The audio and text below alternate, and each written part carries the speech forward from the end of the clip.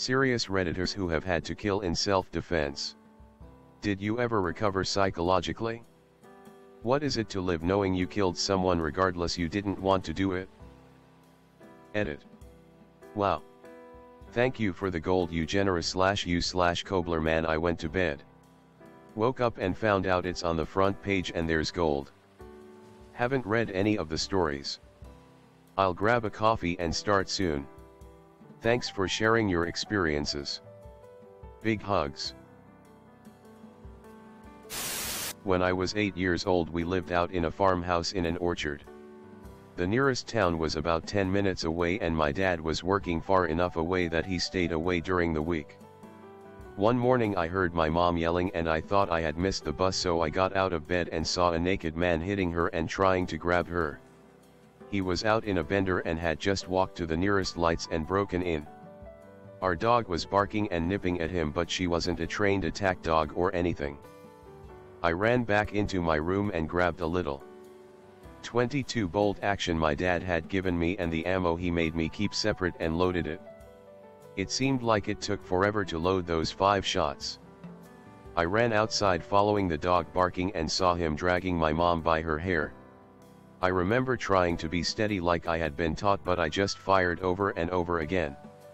I didn't know it at the time but three of the five hit him and he was later found by the police after someone dropped him anonymously at S hospital about an hour away with one of the bullets lodged in his lung. At that age I had a hard time processing it mainly because the state mandated I see a counselor and she kept insinuating I should feel all kinds of emotions I wasn't. Which made me feel like there was something wrong with me.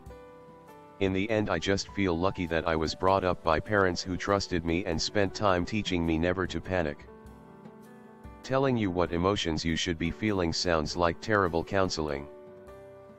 I'm not surprised that happened. To be honest. Obviously this isn't nearly as extreme as the topic at hand.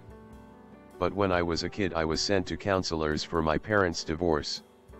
And they all kept on focusing on how I was supposedly blaming myself for their divorce. The thought never even occurred to me until they brought it up. And I brushed it aside like it was nothing. They still kept on about it as if I was in denial or something. Ten years later. Still nope. It's a speepty feeling having non-existent feelings forced upon you. I hope Op made it through okay. This was back in 2003. I was 14 at the time. I was visiting my aunt and uncle in Texas for my two-week Christmas break. We were all supposed to go out to my cousin's baby shower but I came down with the chicken pox. Being young at the time. I didn't want to go anyways. I convinced them to go without me. Ended up playing Halo for a few hours in the master bedroom when I heard a window shatter and the alarm start going off. I remembered that my uncle kept a gun behind the TV so I grabbed it. It was some kind of revolver. No idea what kind. All I know is that the hammer was really hard to pull back. What seemed like five minutes later I hear someone coming up the stairs and yelled at him to go away and that I had a gun. Being so young though I had the voice of a little bitch and the guy probably thought I was bull speepting. When he got to the top of the stairs I fired once and the recoil made me drop the gun. But I think I hit him somewhere since he fell backwards down the stairs. I never found out how the guy died. But I hope it wasn't from the gunshot. I called 911 and some time later the police came. It turns out that this guy got out of prison a few days before. The guy was a drunk and managed to hit some delivery guy on a bike during one of his drunk driving routines. My uncle was his defense attorney. Turns out that it's pretty hard to defend someone when there is security camera footage of you running some guy over and driving away. Guessing that he blamed my uncle for the five years he spent in jail and decided to get revenge. Throw away for obvious reasons. Back in 2012 two men busted in my back door. It took them a few minutes as it was a metal door on a metal frame with sturdy hinges and a lock. One of the guys was probably 6 feet 6 inches and pretty large. He was finally able to break it off the hinge with a crowbar. When I heard them start hammering on the door I told my wife to call the police and lock herself and our baby behind two doors and I went out into the hallway with a shotgun. I kept yelling at them to leave and that the cops were coming and that I was armed, they kept coming. Eventually I heard a pop and the banging stopped and I knew they were through. I told them in no uncertain terms that if I saw them in my house, I was going to kill them. A few seconds later they came around the corner both holding what appeared to be weapons and I shot the bigger one twice in the chest. The other one just stood there confused. Probably trying process what in the hell had just happened. He took one step towards me and I shot him as well. Police showed up about two minutes later, both died at the scene. One had a knife and duct tape. The other had the crowbar. I later found out that the larger one was wanted for some sort of manslaughter charge because he killed his girlfriend a state over. I have zero regrets about that night. They had multiple chances to leave and I have no doubt that they would have hurt my family if I had not stopped them. That is you and your wife stay in that house afterwards? I don't know if I could have continued to live there. Glad you were able to protect your family. We were renting and we were planning on buying a home about a month after this occurred. So we weren't really planning on staying anyway. We ended up living with family for that month until we got everything packed and a house purchased. Weird question but how does deposit work in a situation like that? Insurance covers. I posted this on my previous Reddit about 11 months ago. This was about 2004 to 2006. I don't remember the exact year anymore. I killed a guy that tried to break into my apartment because he was wanting his wife that he had just beat the speep out of. 2 a.m. I hear them arguing. I could hear it through my bathroom wall. I shut my bathroom then bedroom to drown it out. 2. 15 a.m. She's banging on my door. Broken nose. Left eye swollen. And limping from tripping and falling to get out of the apartment. Told her to go to the bathroom. Clean herself up. Then hide in my bedroom. Husband comes out of the apartment. Yelling her name. And he notices her blood trail to my apartment. Starts banging on my door. Yelling to let him in. I warned him three times that he doesn't stop. I will kill you. He kicks the lock on the door. Door swings open. And I swing my baseball bat down onto his head. He falls to the ground stunned. He lands stomach first and I see a handgun tucked into the back of his shirt. I grab it. Throw it into my apartment. And warned him one more time. He got up. Came at me. I slam my bat into his stomach then slam my bat over his head one last time which caved his skull in. I knew from the blood spatter from when I hit. He was dead. Thankfully. The neighbors had called the police when it started and the second he fell to the ground dead. Police had made it to the top of the steps. It never affected me as much as it should have. I reacted the best way I could for the situation I was in. I don't think about what I did anymore. I can't fix the past. What gave you the confidence to face off with him like that? I get that he is charging into your house. But you seem like you handled it very quickly. I don't know that I would have the balls to just open with the bat to the head. Head. I knew I didn't have a choice. He was going to kill me and his wife if I didn't do anything. You're the hardest mother peeper in this thread purposely or not. I was jumped by four guys about 10 years ago. I was down on the ground and they were kicking and punching me. I grabbed my knife from my pocket. Reached up and stabbed one of them in the stomach. Blood everywhere. Some mine. Mostly his. They all ran. One of them yelled back that he would find me later and kill me. He later died at a hospital because he took too long to get help. Basically I never really felt bad about it and I don't regret it. It has popped into my head randomly from time to time and it weirds me out that I took a person's life but that's about it. Doesn't last long. My thoughts about it are that I was protecting myself and whether or not they would have killed me I feel it was not just justified but exactly what I should have done. Edit. I have answered almost every question possible. Look through my post history and you'll find the answer to 99% or questions. Jesus Beep. It actually makes me mad when I hear about these people saying they'll get revenge. They jumped you. 4 to 1 and get mad when you can actually defend yourself. What a joke. Hope you're alright man. Sucks that that happened. Ha. Well good news is they didn't. They probably didn't think they had a chance of taking him with only three guys. Having one of your friends die tends to gentle you down somewhat. My senior year of college. I had an off-campus apartment in a really speepty part of town. I often went to the batting cages with my roommates just for fun. So we each had our own baseball bat. It was a Friday night and I heard a bang at the back door. I honestly thought it was just one of my roommates who had locked themselves out drunkenly. Well I get down there and there's a guy in the kitchen wearing a ski mask. I just grabbed one of the baseball bats and swung at this guy as hard as humanly possible. Well I hit the guy square in the head. He fell back.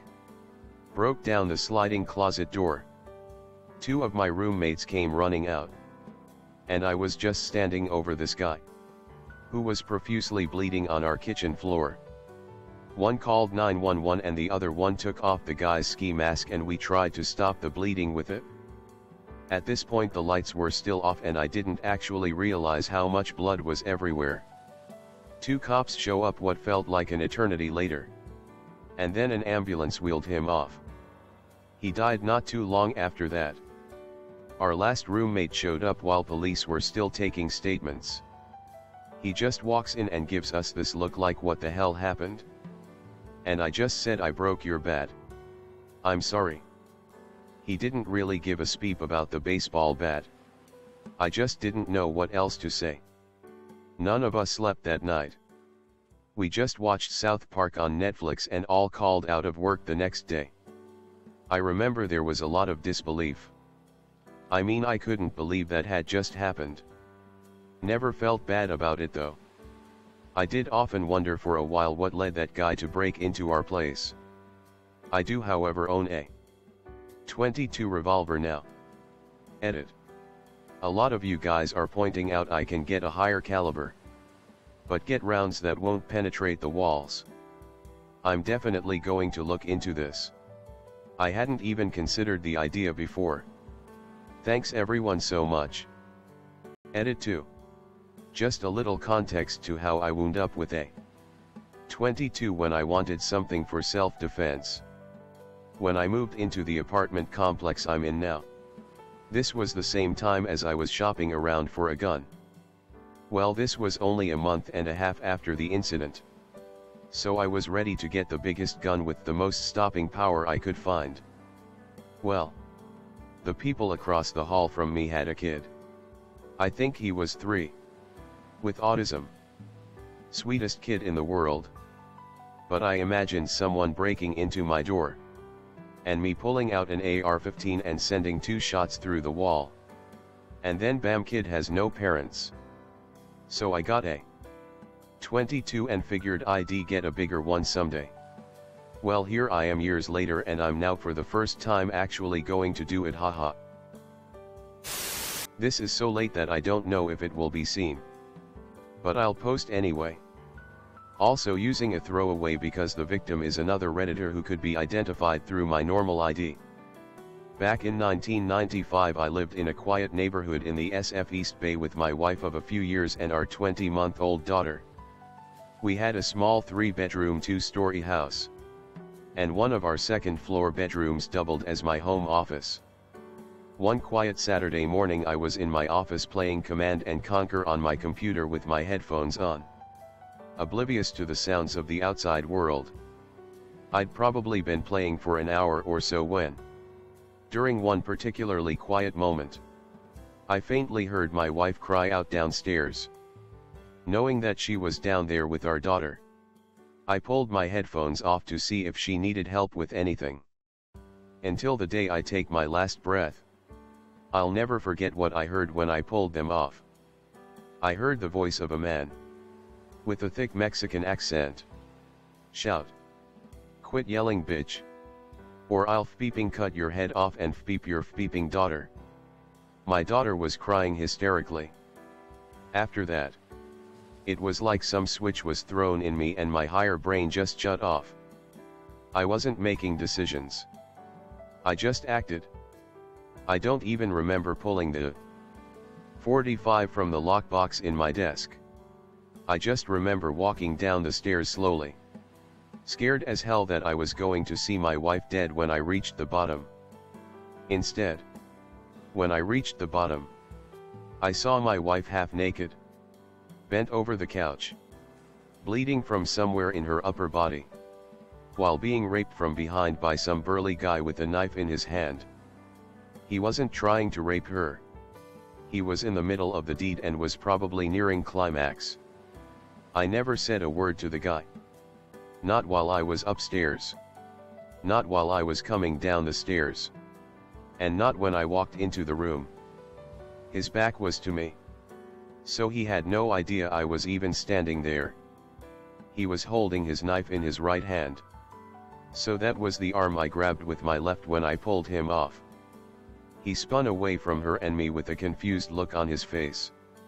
And I shot him square in the chest at nearly point blank range before he had a chance to say a single word. His face went pale as he went onto one knee. And I fired twice more. One hit his neck. And the second missed entirely. I was told later that the first shot was the fatal one. What happened next has always been a point of shame for me. The only thought going through my head at that point was that I couldn't let my daughter watch this man die. Without even checking on my wife. I scooped my daughter up and walked out my front door. As I walked out to my driveway, I saw one of my neighbors standing there staring at my house he'd heard the gunshots. The poor guy went pale when he saw me walk out. And I vaguely remember asking him to hold my daughter while I went and checked on my wife.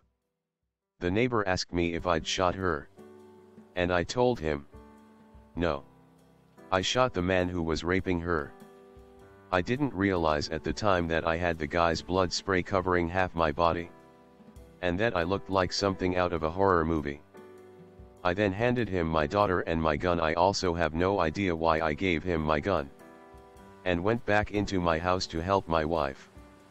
The police and they gave me some flack about the exact circumstances of the shooting one of the detectives told me that it was more of an execution than a defense. But in the end they declined to pursue any charges. The man who attacked her turned out to be a guy with serious mental issues who had been previously convicted of two violent rapes. One of which was against a nine-year-old girl. Under California's then new three strikes law. He'd have gone to prison for life if I hadn't killed him. As for recovery, I like to think that I've recovered from it. But it certainly induced a few behavioral changes. To this day. For example, I can't wear headphones that block out background noise. Even after years of counseling. Over-ear and noise-canceling headphones give me panic attacks because I can't hear what's happening around me. I found out later that he'd been raping my wife for nearly 10 minutes before I heard him and that he'd actually told my wife three times that he was going to rape my daughter when he was finished with her. I was sitting 30 feet away and had no idea it was going on. And that fact has beeped with me for years. My wife had a much worse time of it though. In addition to two stab wounds to her shoulder and upper arm. And the bruising and injuries from the forceful rape. She ended up having a mental break and took years to really recover. For the first six months. She absolutely could not be in any room by herself.